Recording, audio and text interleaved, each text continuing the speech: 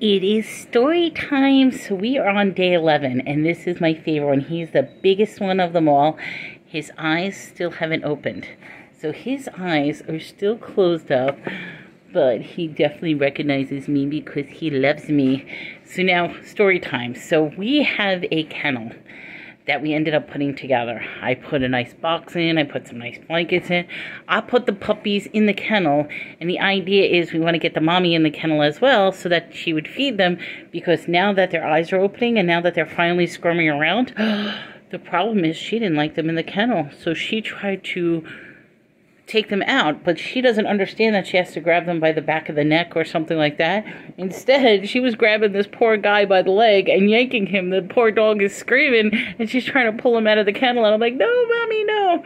So what did I? Oh, look at that yawn. That baby yawn. He was so tired. So what did we do? I put her back in their corner where they've been so this way they can be with mommy. But how are we going to get them in the kennel and how are we going to keep them all safe and together?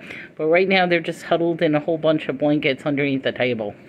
But soon, very soon, my little baby's going to open up his eyes